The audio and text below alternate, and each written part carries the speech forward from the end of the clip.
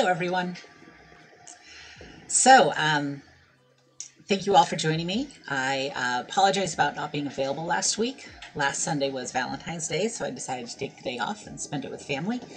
Um, and we've got a, quite a few updates because I basically took that week off. So, uh, a lot going on, kind of more or less just updates to the standard projects um, as things are going on. Um, there's actually a couple updates I'm going to leave out for now, which includes the, the, the indoor strawberries. They're coming along quite nicely. Um, but I'll talk a little bit about that, but I'm not going to do heavy on that update. But in any case, thank you so much. Now, I apologize. My lighting is a little off today um, because my normal blocking of the sunlight, because I, of course, do this at noon and light it just happens to be shining in, but oh well, who cares? You know, it's all good. You hopefully can see me. Um, and we're good to go. So today we're going to be talking about, like I said, about five different topics. So we're going to, I replanted the string bean bonsai. So these are the first vegetable plants that have sort of officially become bonsai, I guess, in a sense, because they've gone to their, their, their pots. You know, I've, I've taken them out of the party cups, which make pretty good, like, uh, containers for starting plants, but I've now moved them to bowls that I'm using um, for those who don't know, instead of like spending money on like real bonsai pots for all these things, because I intend to do a lot of them. Oh, there's another topic I wanted to cover. Well, we'll talk about a lot of extra stuff at the end. I just don't have good photos for things. So, um, but I've been using pots. Sorry, super tangent. I've been buying pots at, at um, you know, Goodwills, at thrift stores, and I'm using those pots as bonsai containers. I'm not even drilling a hole. And we'll talk about that in a little bit. So also the currant and mulberry cuttings I had taken, all are doing fantastic. Like that whole process ended up working really, really well. So we'll talk a little bit about that. Um, a lot of the seeds that I started for some more like vegetable garden bonsai, um, those have all come up. I've replanted those into larger, um, the solo cup, the party cup containers. So um, they're kind of entering the next stage of growth before I put them in their, their I don't want to say final like bonsai pot, but before I pot them up to become bonsai. Um, I want to talk a little bit about the chickens um, very quickly, and also some thoughts I've been having about the winter greenhouse, especially where the the the grow lights are concerned, and sort of my greenhouse within a greenhouse, and it just provide kind of an update to that. Hey, great sky troll! I've planted my tiny Tim tomatoes and the red bell peppers. I've transplanted my broccoli to my flood uh, ebb bed, and I'm expecting to be ready for prawns by April. Awesome! So glad to hear. Thanks for keeping me updated. So it's um lost my train of thought. So we'll talk about that that that greenhouse situation. Can move over to my screen here. Okay, so I just want to give a, some quick updates. I talked previously that for my string bean bonsai, um, I cut all of the flowers off because I was trying to focus on green growth. But being string beans, the second I cut off all the flowers, twice as many flowers came on. So I decided to just leave them. I thought they were beautiful. So I just left the flowers on there. I thought they were gorgeous. This is actually after I cut them all off. I think you saw these pre- these these photos previously, but I've decided to start um, planting them out. So these are examples of four bowls. So I had six string bean plants, but I only planted out four of them because I had these four matching bowls. I still have the other plants, and maybe I'll put them in something else. But I had these nice deep bowls uh, again that I got at the thrift store. I wanted something to put at the bottom to provide a reservoir because again i'm not with these bowls i'm not going through the trouble of trying to drill through the the ceramic jigs punky hey what's up um I, I, I don't necessarily I mean I may change my mind if this end up being a problem. Who knows? Maybe I'll move to proper pots or proper like bonsai things with actual like real drainage. Hey Wildly Canadian, thanks for joining us. Love the polls. Missed you last week. Yeah, I'm actually I appreciate the missing. Yeah, so I just took last week off, um, kind of, kind of last second. So I apologize about that. I don't have a good way of alerting people. Like if you follow me on Instagram or you follow my non-video posts here, you know that's where I kind of post the updates. But I don't really have um, an announcement system otherwise. So I try to remain pretty consistent. But you know, holidays and and life happens. So so I decided that I was going to instead of trying to drill a hole in the ceramic and, and potentially damage the bowls. And again, when you start having that, you got to create like a drip pan and that, unless you have a really ornamental drip pan that goes with your ornamental pot, it kind of detracts from the value. So I wanted to just have nice contained like bowls that I can plant these in because I'm kind of putting around the house. I don't have a good I don't have a good example. They're right over there. They're actually a, the the four these four that I'm planting out now are actually kind of on the top shelf along with the strawberries under those like LED strip lights. Um, I didn't have a good picture of that. I think I've shown a picture in the past, but in any case, just imagine it. Um, but in any case, so I, I, I knew I wanted to be able to put these plants around the house decoratively. So I didn't want too much too much drainage to have to worry about. So I decided to just put something as a reservoir in the bottom, just enough so extra water could drain off a bit. And you know, I was I was thinking about doing some kind of like pebbles or something, um, but I didn't really have anything. I didn't feel like buying anything. I tried to try not to buy a lot of extra stuff in general, since I do have a lot of projects that end up buying a ton of stuff. For all the projects, I try not to when I don't have to buy something. I don't, uh, especially these days where I try not to leave the house too much. So I have a ton of hydroton. So back in the day, I used to do gigantic. When I did a hydroponics, I would do gigantic um, uh, media beds that were all hydroton or expanded clay petals or hydroton or however you want to pronounce it or whatever you call them. So these clay pebbles, I had a ton of them. I used to have like I think it was like 10 five gallon buckets of this stuff. I give a lot of that away, but I still have a full gallon bucket. I don't use anywhere near that anymore because when I do do hydroponics, I tend to do the small cup variety that uses like you know 15 pebbles in it you know so um you know i don't use this a lot but i still have a lot of it so i was like you know what i'll just use this as drainage uh, so this is actually me taking the the string bean bonsai out of the, the party cups the red party cups yeah so we had a lot of roots so i actually had to to um not really trim the roots back quite yet but i really did a lot of work teasing them apart and kind of like setting them down Thumbs up for Punky. Thank you so much, Homestead Aquarius. Sealed bottom pots are sometimes difficult. Yeah, I hear you. Cannot get those. I had to use rocks. Yeah, and I, I oh, you rocks in your hydroponics, yeah, or your aquaponics. So, um, I don't remember how I got all the, the clay pebbles. To be quite honest, I think I ordered just accumulated them over time, ordering them online. We do have local hydroponic stores, so I'm sure I have it too. But in any case, so, um, so yeah, so I just put this on top, added some extra dirt, and there we go. Now, I don't have any kind of mulch. I considered getting like um, very, very fine like bark mulch, something that's kind of made for indoor plants because I do sell that. Hopefully something that's not full of bugs and has otherwise been like cleansed. But I'm considering putting on that on top to help um, keep the increase the moisture retention because I'm so in love with using mulch in my pots outdoors. Thought about bringing that indoors. We'll talk about that in the future most likely.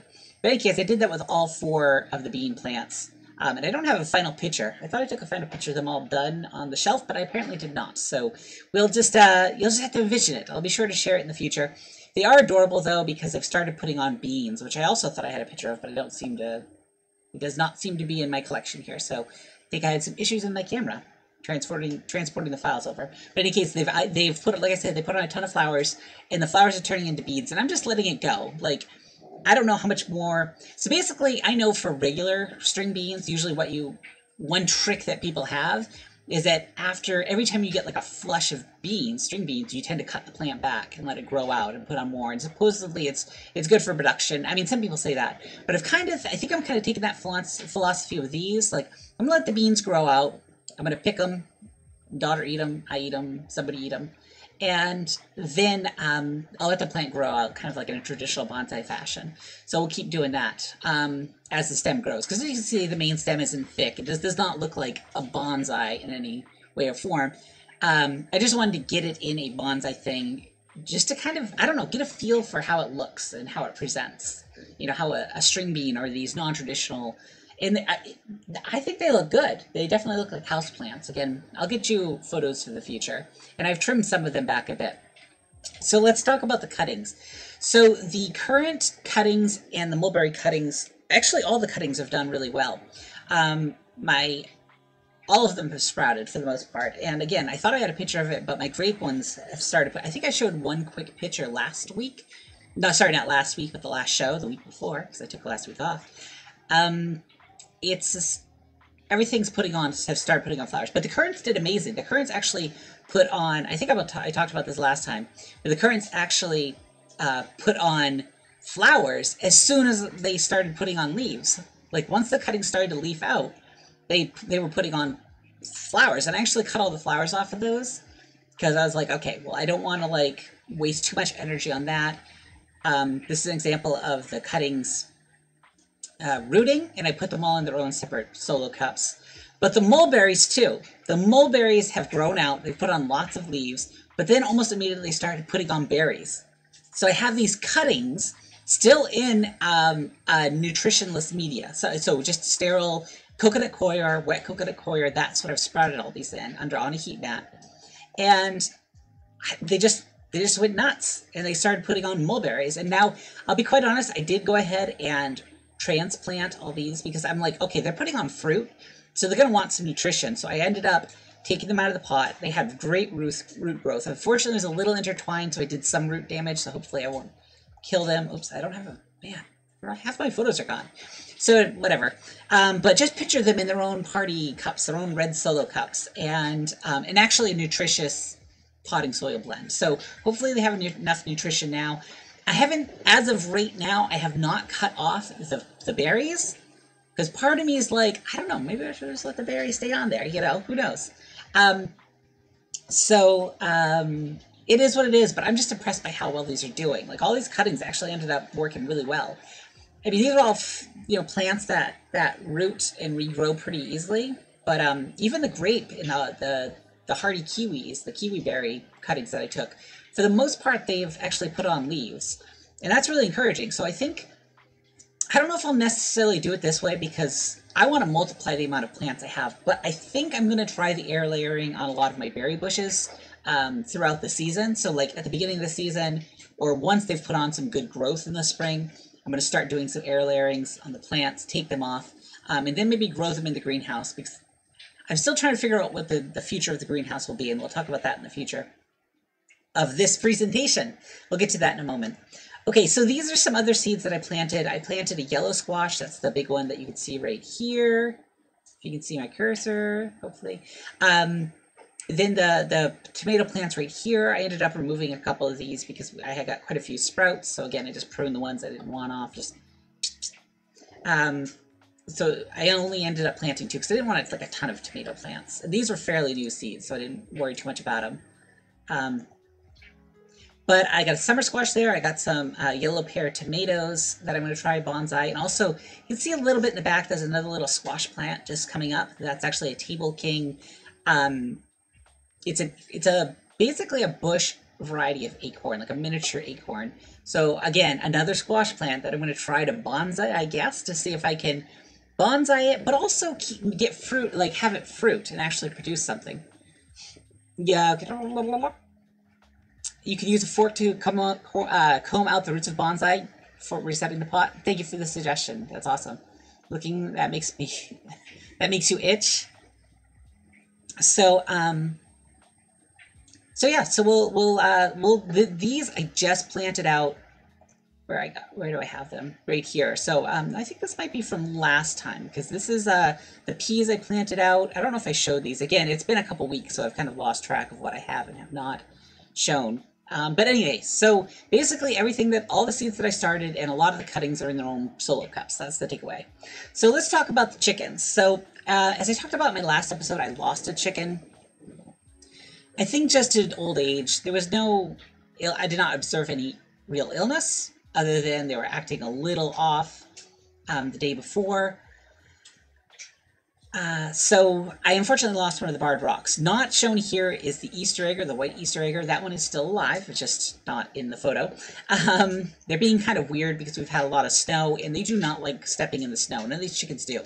So basically what happens is they come out of the coop and then they fly up on top of the coop and that's where they spend like their whole day. Which doesn't work well if I'm trying to feed them and give them water because all that stuff's on the ground outside. So I ended up having to take some pine shavings that I had leftover. Um, you know, it's always good to just have pine shavings around. I used to put it in their, their nests and whatnot throughout the season. But I spread that along the ground so they didn't have to walk on cold, the cold snowy ground. So they get to walk on cold pine shavings instead, which is much better for their feet. So I went ahead and dumped out the usual scraps and food, and um, you can't see it, but the water, actually you can see a little bit. There's a black water dish off in the lower right-hand corner of the photo here. Actually, no, you can't because my beautiful face is blocking that. So Um, so yeah, they're doing okay. Um, I don't like the the the coop that I have. I mean, I think it was fine, and it's fine for a starter coop. Having done it again, I would have built it up more. I would have actually built like a built it taller or built it up on legs and, and, and kept the bottom sealed because um they really don't like it. Um, obviously, ground contact it's gonna rot, but they they are not keen on being in that coop. They never really have. They, I mean, they never really have been keen, and they don't really have an alternative. So I mean, this is it. So um, I definitely think I'll be investing in a much better coop next year, and possibly a covered run. Now, not, I'm, I have this big fenced-in area that I keep them in, where I dump all these leaves. I don't want that whole thing encased and covered, but I think I might have to when I build them a better coop. I may also build them um, some kind of shelter so that they can at least go outside and walk around that won't be covered in snow because they're really not thrilled about it. And um, I mean, we'll see in the future. I'm also thinking the coop that I end up with also have it in such a way that I can put at least a little bit of food and water for them indoors so they don't have to go outside. Um, I was just, I'm just so spoiled because I had, you know, I had that amazing coop that I actually, that had a, a covered run, um, a run that I, so if people remember from my my previous house, the the the, the big old house on the four, the 17 acres, you know, they had a big old coop with an attached run. I then put a roof over the run and then ended up enclosing the entire run to one gigantic chicken house. Um, and it was like a chicken barn, and it really was fantastic. And I, I do miss that in a lot of ways, but um, you know, it is what it is. Some more pictures. So yeah, I'm just showing here that this tarp I put up, oops, that kind of worked for a year. Uh, has since, of course, torn and it's kind of fallen off, and it's not really working as any kind of shelter anymore. But that at least kept a lot of the snow off and gave them some room out to just walk outside. But this this is this coop is not forever. Um, it definitely I need a new solution this spring, so I'm saving up my bills now. If anyone would like to uh, contribute to that fund, I will uh, uh, create a plaque and I'll hang your name slash names on the uh, the coop. Because the coop I want to get is is pretty expensive. Um, so yeah, make your contributions now, and thank you ahead of time. So let's talk about the greenhouse. So I have this big lean-to greenhouse. I'm sure anyone who's watching this has seen previous episodes. I've talked about it before. Most people finding my channel these days, these days, these days are actually finding it through my videos from me building this lean-to greenhouse. So you probably know the story. You also probably know the story of um, me trying to grow through the winter here and basically creating a makeshift greenhouse within a greenhouse. So you have these um, these racks, these shelves, these whatever you want to call it, and you know I put um, I put plastic over it. I have plants in there and I put all these Hidden Harvest green light, uh, excuse me, uh, grow lights in there, just to use that as a way to heat the greenhouse at night. And the whole thing was covered in a tarp. So something happened, I, I and I'm not sure what it is, but the plants started doing not so good. The peas were the ones that weren't looking so good. They were kind of shriveling it up, shrivel, shriveling up, and the leaves were getting kind of crunchy. And it wasn't due to lack of water because I just recently watered them, but weird temperature swings were happening. Now it gets really hot in there during the day, and it's gotten really cold at night. And being covered in that plastic, that greenhouse within a greenhouse, and be covered in a tarp, you know, may not have been, you know, too disastrous for them. They seem to do well most of the season, but lately something was off, and I think it might have started when our my timer uh, was off because we lost power temporarily, which threw off when the lights were coming on and whatnot. I talked about this in my last episode, but um, I kind of decided that I don't know if this is really working out. It seemed to work really, really well, but I haven't gotten anything out of it yet. I feel like I should have seen something by now. Um, and now that the plants are, are sad and continue to be sad, I don't know what to think. So I ended up turning off the grow lights. Uh, I pulled the tarp up and basically moved all these uh, cracky rails that I had, hydroponic rails back all to, to just let some light in. So instead of having, oops, so instead of having a greenhouse within a greenhouse that was then covered and lit by grow lights. I turned off the grow lights, and, I, and now it's more just a greenhouse in a greenhouse. The only light they're getting is light during the day, and the plants still look pretty sad. Um, I don't know. I don't know if we'll get anything out of this, which is really disappointing because I put a lot of um, thought and effort and time into this, and it seemed to be working really well for a long time. But they've all just sort of, I don't know, kind of fallen off, and I haven't really been able to identify what that is yet.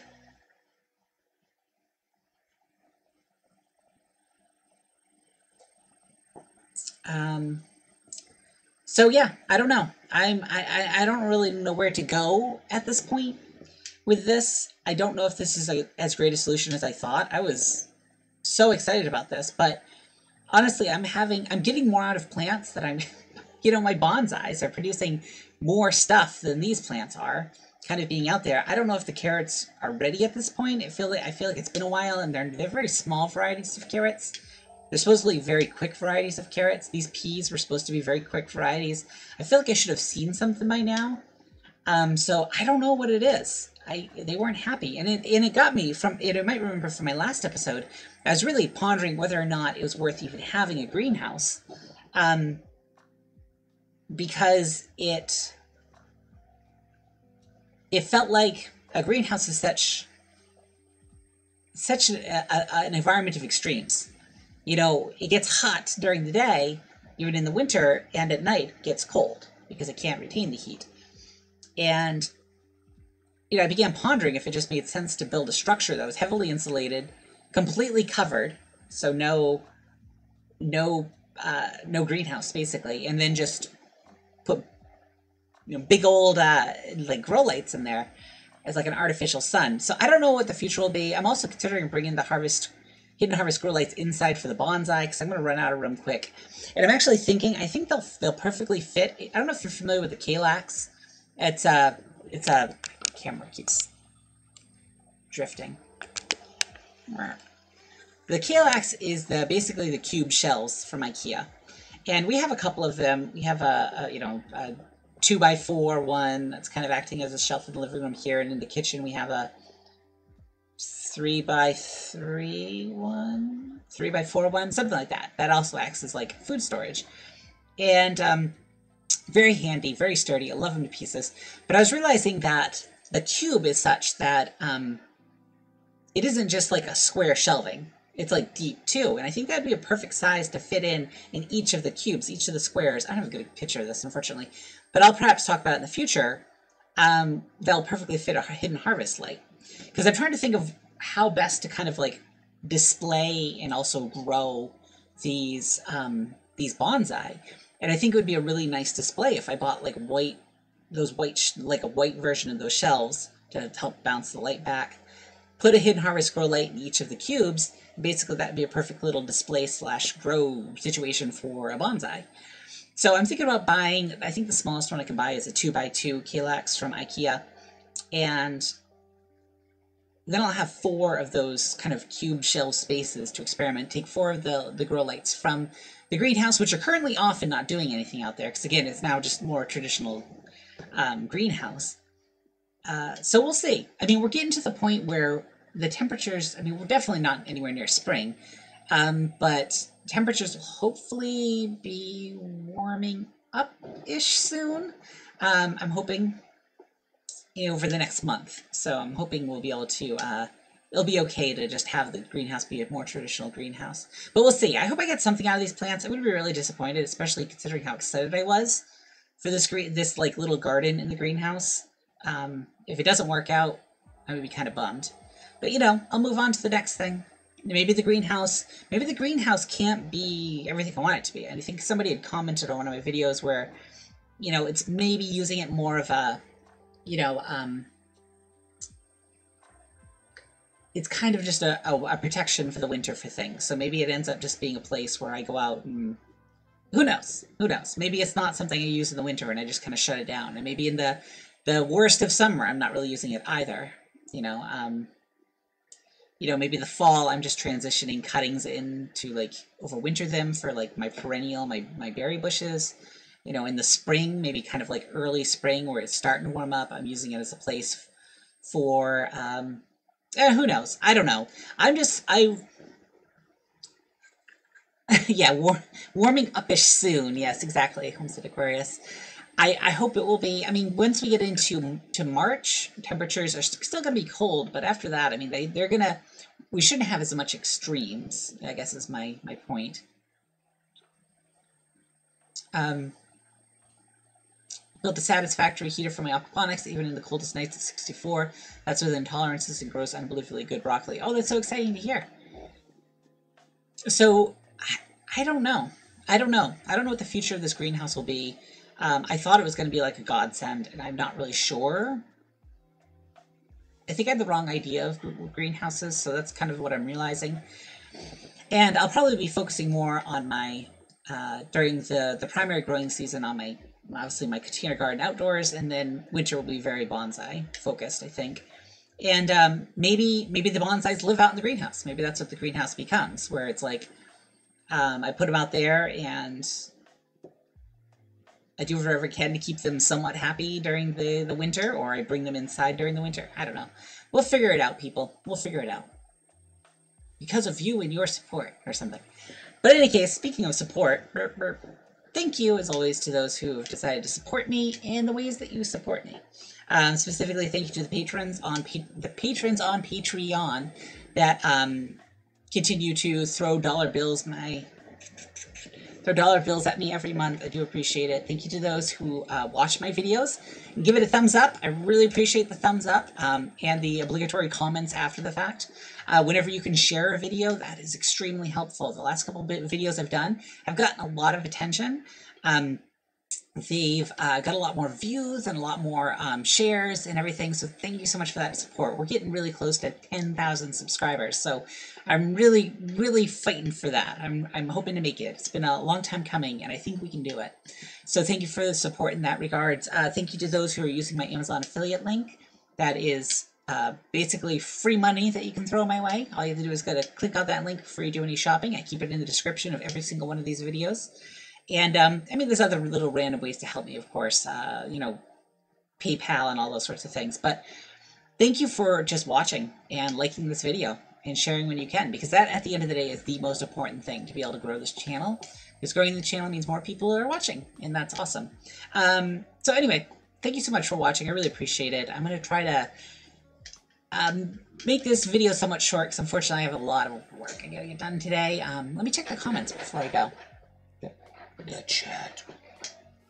Almost 10,000. Yeah, we're getting there, Homestead Aquarius. We're getting there.